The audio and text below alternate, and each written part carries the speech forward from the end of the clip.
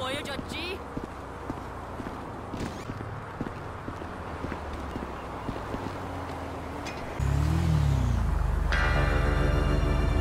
Come in, come in.